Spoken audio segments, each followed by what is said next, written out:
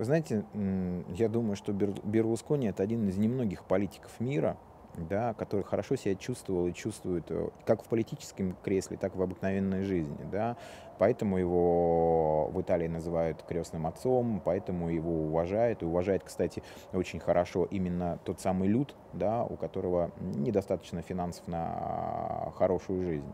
Его все равно уважают и ценят. Если бы захотели или, скажем так, если бы смогли утопить Берлускони, как топили многих политиков, и французских политиков, и немецких политиков, и шведских политиков, в том числе и швейцарских, и русских не, некоторых политиков российских, его бы утопили. Значит, не могут, а значит, знаете, как говорят на Кавказе, мне это слово так нравится иногда его употреблять, красавчик – вот он для меня прям вот такой, прям красавчик. Будут ли у нас в России? Я думаю, что будут. Это одна из таких очень интересных рычагов влияния, такой, знаете, инструментарий для того, чтобы влиять на того или иного политика. Просто мы пока этого не до конца используем. Скорее всего, папки компромата с подобными историями, они уже есть, они копятся, но ждут своего времени. Когда-нибудь, наверное, мы тоже будем а, вовлечены в сексуальные скандалы а, у, того или иного чиновника. Пока, видно, это не особо востребовано, вот, и России это не грозит в ближайшее время.